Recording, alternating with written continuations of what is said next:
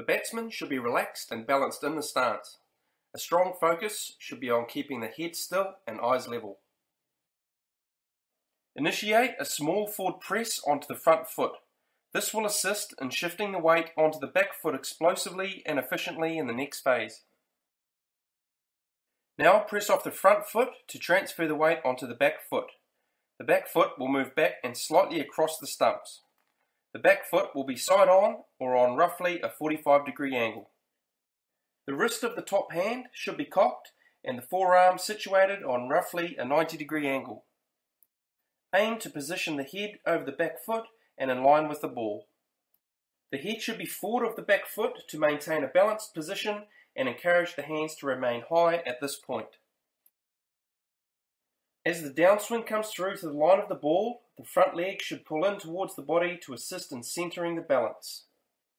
Keep the bat handle forward and a high front elbow position. Attempt to get the head and body behind the line of the ball. Contact should be in line with the eyes and made when the ball is under or slightly in front of the eyes. This is commonly described as playing the ball late. Present the full face of the bat to the ball and attempt to be balanced throughout the stroke.